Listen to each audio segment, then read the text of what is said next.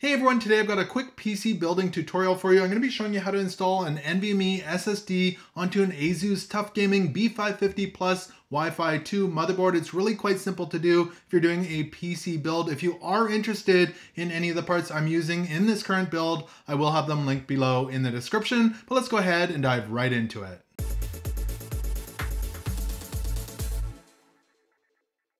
All right, so we've got my Asus Tuf Gaming B550 Plus Wi-Fi 2 motherboard here.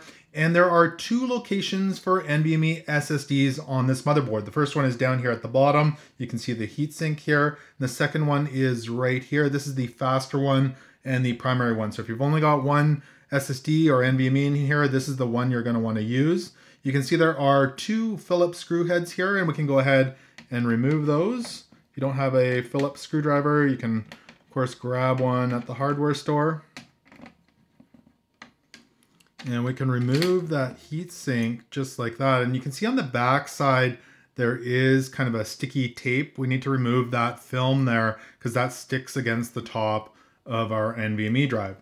Now the next thing we want to do is grab our NVMe SSD and this is an 80 millimeter NVMe SSD, and we're gonna actually hold it up here in place so we can see where we need to put our standoff. So you can see there's three different spots here, and this again is an 80 millimeter. So if we hold it in place, we can see that it lines up with the third screw port here. So that's where we're gonna put our standoff.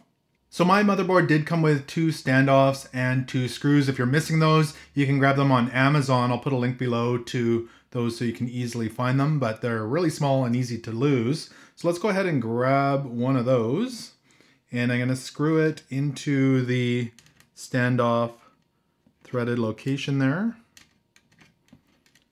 and tighten that down. So my motherboard came with two of these pads here as well. Now these go on top of this pad that's already here to help support your NVMe drive. It does say these are optional in the directions and it says not to use them if your NVMe drive is double-sided. Mine happens to be a single-sided one, so we are good to use it. Um, again, it does say it's optional. I'll go ahead and put one on here. Let's grab one of those. And again, these are easy to lose. They're kind of a sticky back to them. And we're gonna just place it right on top of that square that's already there, the rubber pad, just like that. So now we're ready to install our NVMe drive here. And you can see in the connectors here, there's a tiny little notch and that corresponds with the notch here on the other end. So you wanna make sure those line up. Kind of goes in at about a 30 degree angle, just like this. You're gonna line that up and maybe give it a little bit of a wiggle. And there's some tension on there and I'll show you the angle here. You can see it is at an angle and it's kind of like a diving board here. There is a little bit of tension on it. So we'll put that down here. And now we're gonna grab the screw. And again, this came with my motherboard, super tiny little screw there. And make sure not to lose that. And if we have a look at our NVMe drive here, you can see there's kind of a half moon at the end of it where it lines up with the standoff down below. So we're gonna push down the NVMe drive and line it up with the standoff here, just like that. And we'll take our screw and line up the NVMe drive and the standoff and we'll put that screw in there and just tighten it down. Not too tight, but nice and snug. There we go, we've got that installed. And now we can install our heatsink here as well. And you can see there is that film we need to remove here.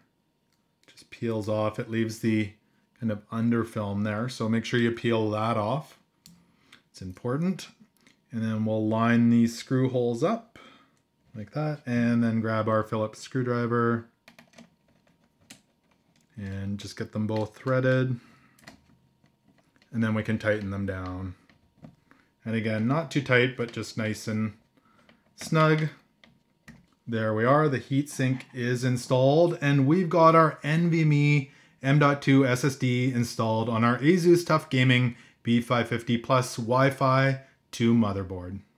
So I hope this tutorial was able to help you get your NVMe SSD installed on your motherboard. If this video did give you value, make sure to give it a thumbs up and subscribe here on YouTube. Thank you so much for watching and YouTube thinks you should watch this video up here next, so why don't you check that one out. Thanks for watching and until next time, Take care.